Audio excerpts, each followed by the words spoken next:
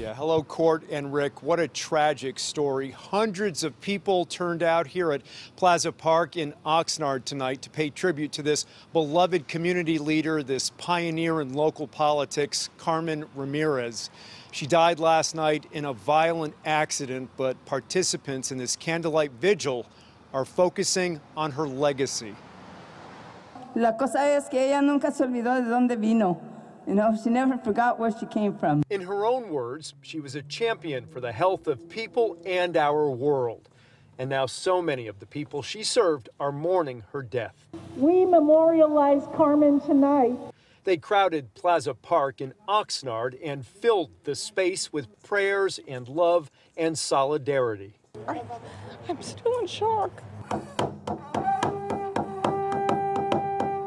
The candlelight vigil was held to honor 73 year old Carmen Ramirez, a trailblazing community leader who died unexpectedly one night earlier.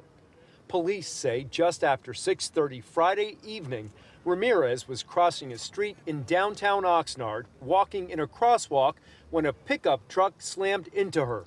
The 38-year-old man who was driving stayed at the scene and is cooperating with authorities. Ramirez was rushed to the hospital where she later died from her injuries. I think it's a reminder to all of us that we're here for a short time and we don't know when death is going to come calling.